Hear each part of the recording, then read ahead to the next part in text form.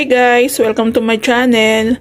Bali, ang pag-uusapan natin ngayon is tungkol sa uh, room partition. Bali, ito guys, uh, uh, bali ito guys, um, for example, ang unit nyo is Angeli SF. So, ito yung second floor niya. Meron kasi guys nagko na mga nagko-comment kung kung ilan room ang pwede sa isang Angeli SF. Um, tawag nito. Um, paano yung magiging setup kung kung dalawa o tatlong kwarto. Ayun, yun yung mga usually comments dun sa aking vlog. So, ito guys, uh, sorry, gumawa ako ng sarili kong edit. So, ito nga, Bale, itong picture na to is galing din siya kay Lumina. Then, inedit ko lang.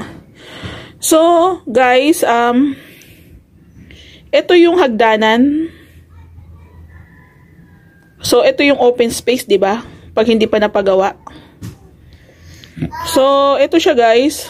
Ah, uh, pwede ka dito maglagay ng etong orange. Ito yung pinaka-partition. Tapos, ito yung stair hagdanan. Usually, matik na andito yung isang pinto.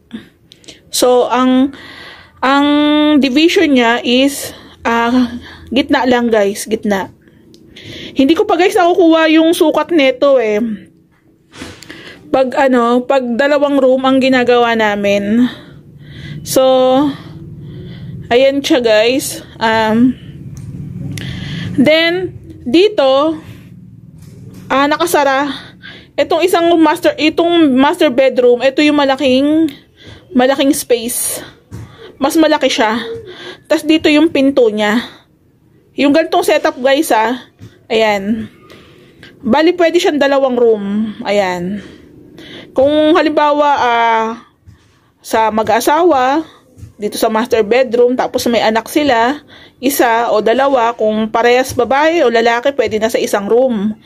Pwede naman tayong uh, magpa-customize or bumili ng mga double deck na na bed frame. So, kasya na siya, guys. So, ayun guys, ayan. Pwede yung ganitong setup, guys. Ayan. Para may space ka pa dito na lalakaran. So, usually, ganito, ganito yung mga sinasuggest namin kay client. Pero kung ano rin talaga yung gusto nila, yun din yung sinusunod namin. So, nagtataka kayo guys, pwede naman kami magpinto dito tapatan, di ba? Kasi si Ray kasi, napansin ko sa gawa niya, ewan ko dun sa mga, ano ah, sa mga naniniwala sa mga pungsoy-pungsoy or sa mga pamanhiin. Ah, uh, ito naman, um, wala naman, wala namang masama kung susundin natin, di ba guys? So, ito yung gawa ni Ray, ayan hindi siya nagtatapat ng pinto sa gawa niya. Or, pwede naman tumapat pero lihis ng konti. So, pwedeng dito. So, ito guys, maganda na tong setup na to kasi may space ka pa rin gagalawan galing sa may hagdan. Ayan. So, ito yung uh, first setup. Few moments later. Ito naman guys yung uh, setup 2. So, ito guys, uh, Angeli SF uh, partition, room partition. Bale, ito guys, uh, tatlo ang room dito. Dito sa may hagdan, as you can see guys, matik na yan, nandito na yung, uh, andito na yung pintuan. So, Ayan, ganyan lagi ang gawa namin. Dito lang nagkakaiba kung paano yung magiging setup ni client. So, isang bedroom na dito talaga.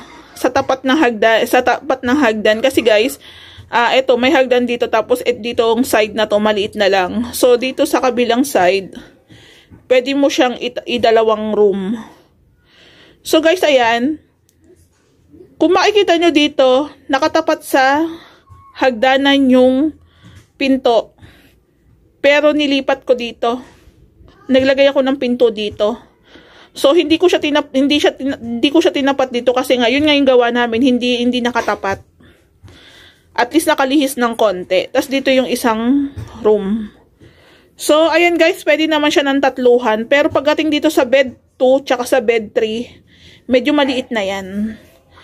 Pero kung ayun nga, kung halimbawa yung kung mga anak nyo is binata na o dalaga na, pwede naman. Pwede na sa kanila yung tag-isang room. Kung babae o lalaki. Ayan, pwede naman siya guys. So, again, yung gawa namin.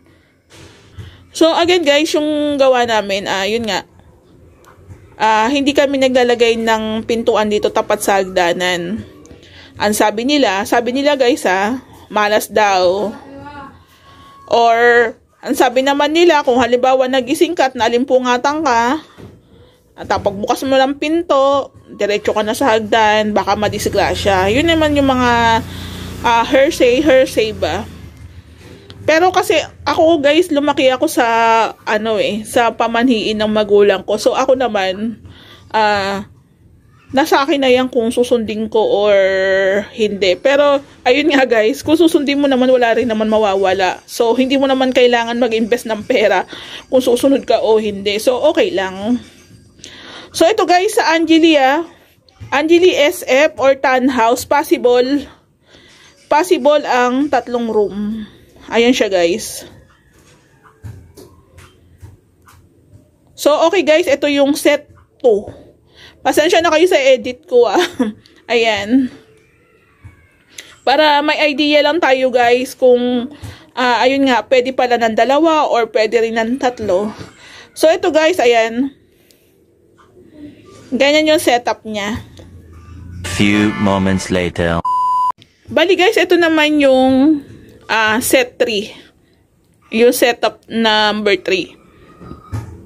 Ito yung guys, kung kung mare-recall nyo yung gawa namin na ni-renovate na, nire-renovate ulit. Yun nga guys, patapos na yun. Parang ganito yung setup nila ma'am. Ito yung hagdanan.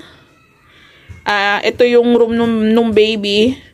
Tapos, ito yung bedroom nila, master bedroom nila. Sa loob nun, may isang room na office room. So, ayan guys. Ito kasi guys, syempre, pa, depende naman din talaga kay client kung paano yung magiging setup niya. So, sa kanila, may office room na malit na kwarto lang uh, para may privacy lang, 'di ba? Uh, pwede siyang uh, magtrabaho diyan. So, eto guys, ayan, sabi ko nga sa inyo, sa hagdanan, malapit, matik na yung pintuan. Ayan. So, lakad ka dito ng konti. Andito naman yung pintuan kasi nga dito sa office room, connected siya. Connected siya sa office room. So, ayan naman guys ang setup. Okay din naman siya. Sa Angeli SF. Or even sa Angeli Tan House.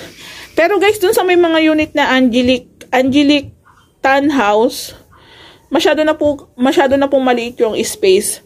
Ang, ang sinasuggest lang po namin is dalawa lang po ang kaya talaga.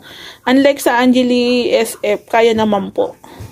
So, ayan guys, possible pa rin. Pwede tatlo. Ayan, master bedroom. Uh, isang uh, room para kay uh, baby. Then, uh, uh, ayan, office room para kay ma'am o kaya, kaya kay sir kung gusto lang nila talagang uh, medyo private yung kanilang workplace. Uh, uso pa naman ngayon yung mga work from home guys kasi syempre di ba pandemic pa. So ayan guys, um, napansin nyo, ang gawa namin, or kahit itong sinetup ko dito sa, or inedit ko dito, is lagi may space dito sa may hagdanan. Kasi guys, kung pag-akit mo ng hagdanan is makipot dyan, may tendency na baka may madisgrasya. Ako lang guys, sa, sa opinion ko lang yun ha. So, uh, as much as possible, naglalagay kami ng space dito. Para yung aakyat, diba, bata, may space pa rin siya na malalakaran. So, laging ganyan yung setup namin. Ayan guys. So, tatlong room possible pa rin. Ayan, office room nga lang yung isa. So, ito naman guys, master bedroom. Malaki talaga siya. Malaki talaga siya. So, ayan guys. Uh, setup number 3 yan.